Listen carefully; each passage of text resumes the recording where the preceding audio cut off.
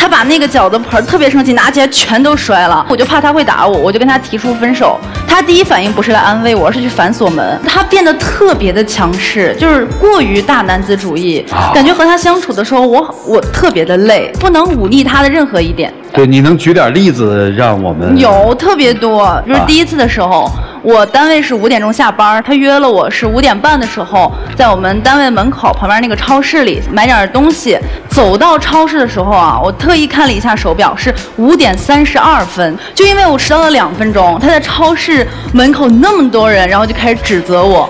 是那样吗？那不是那样从你学校走到超市，那满够能用多长时间？最多十五分钟了吧？对啊，我都给你留出来那么多的时间，我都让你五点半到。不是，那你那么多的时间，那你在那干嘛呀？你和男同事们这样那样的？什么叫我和男同事们？你怎么总是爱扯这些有的没的事儿？我问一下，你们是准备干嘛呀？就就就是去超市买点去买买东西啊。那你抽什么风啊？他到了门口，那就说，那我我怎么了？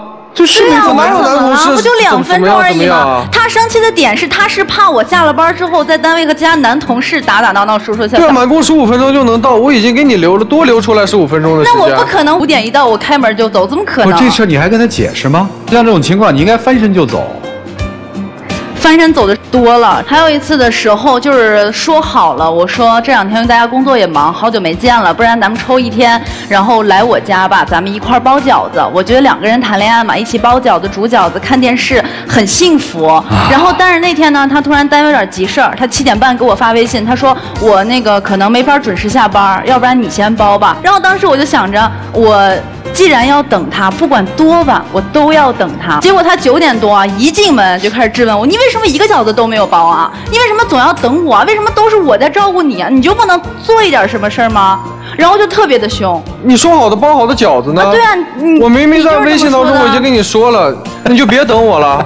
你先包了吃，我就吃点凉的，吃点剩的也可以。可是我就是想和你可是他一回去就在那开着电视，在那玩游戏，天天打游戏，游戏上面。只有一个女同事，其他都是男的。那这个世界上除了男人就是女人，那我又没有只和一个男孩玩。而且最重要的是，他最后没有就因为这个事吵完就结束了。他把那个饺子盆特别生气，拿起来全都摔了。我就怕他会打我，我就跟他提出分手。他第一反应不是来安慰我，而是去反锁门。他就是怕我走。你在这儿当当好人，你是怎么说的？动不动口头禅就是我凭什么？我凭什么？你有病啊！